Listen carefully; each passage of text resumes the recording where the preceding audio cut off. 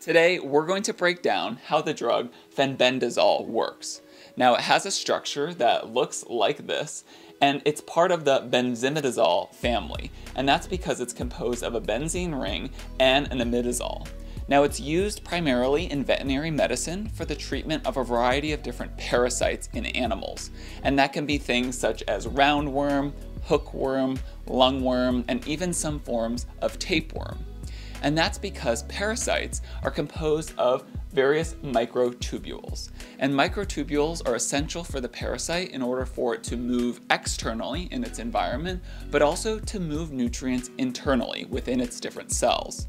And those microtubules you can think of like three different pieces of rope that are going to be braided together and then glued or polymerized. And that braided rope is much stronger together than it is as three separate strands.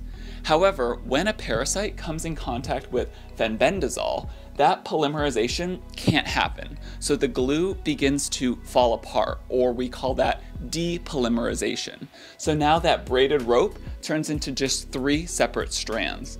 This affects the parasite's ability to move externally, as well as to begin moving nutrients internally. So therefore, a variety of different cells within the parasite go through something called apoptosis, or cell death.